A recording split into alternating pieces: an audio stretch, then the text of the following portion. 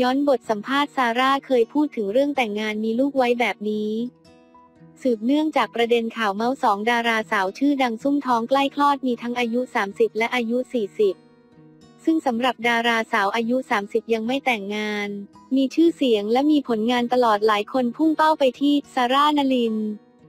โฮเลอร์หรือซาร่า AF หลังจากที่เห็นไลฟ์สไตล์การแต่งตัวเปลี่ยนเป็นเดรสพองๆเสื้อตัวใหญ่ เปลี่ยนชื่อช่อง YouTube เป็นซาร่าเบบี้วันนี้เราจะพาทุกคนไปย้อนฟังบทสัมภาษณ์ของสาวซาร่ากันค่ะ หลังจากที่เธอเพิ่งเปิดตัวกำลังคบหาดูใจกับแอด จอแดน แรปเปอร์นักแต่งเพลงและโปรดิวเซอร์จากอเมริกา ซึ่งสาวซาร่าเคยเปิดใจไว้ว่า